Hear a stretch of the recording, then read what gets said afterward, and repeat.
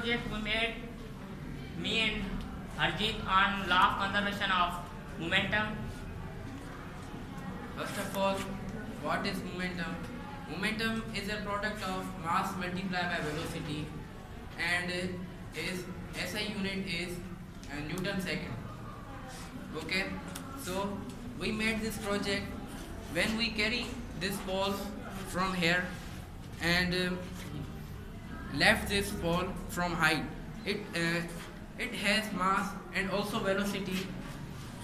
It carry velocity and when the hit on another ball so velocity transfer from these also three balls to another ball. That's why this go in so far. This is our project. Thank you. Clapping.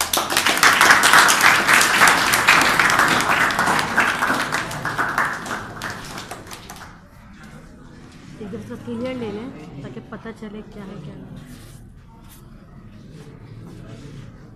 हिलाए से थोड़ा सा, ball को। हाँ सही।